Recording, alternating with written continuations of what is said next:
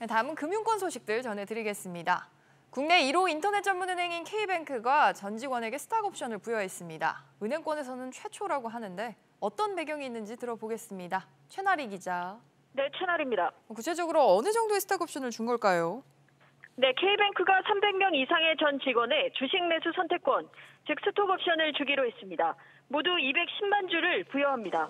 행사 가격은 주당 6,500원으로 의무 복무 기간 2년 재직, 장기 자본 2조 원과 법인세 차감전 이익 1,000억 원 이상 달성이 기본 조건으로 주어졌습니다.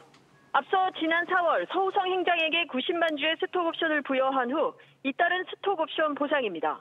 그렇군요. 임직원에게 이런 통 큰 보상에 나선 배경 어떻게 봐야 될까요? 네, 스톡 옵션은 성장 가능성이 높은 회사가 핵심 인재를 확보하기 위한 수단으로 활용됩니다. 올 들어 가상자산 열풍을 타고 성장 시동을 걸고 있는 K뱅크가 인재 확보에 공을 들이는 것으로 풀이됩니다.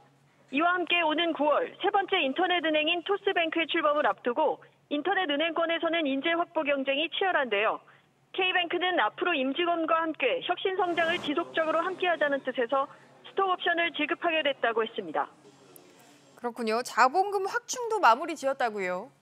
네, 지난 5월 말 결의한 1조 2,500억 원 규모의 유상증자가 마무리되면서 K뱅크의 자본금은 2조 1,500억 원대로 뛰었습니다. 주금 납입이 지난 9일 완료돼 지분, 주요 지분율은 변동이 있었지만 대주주에는 큰 변화가 없습니다.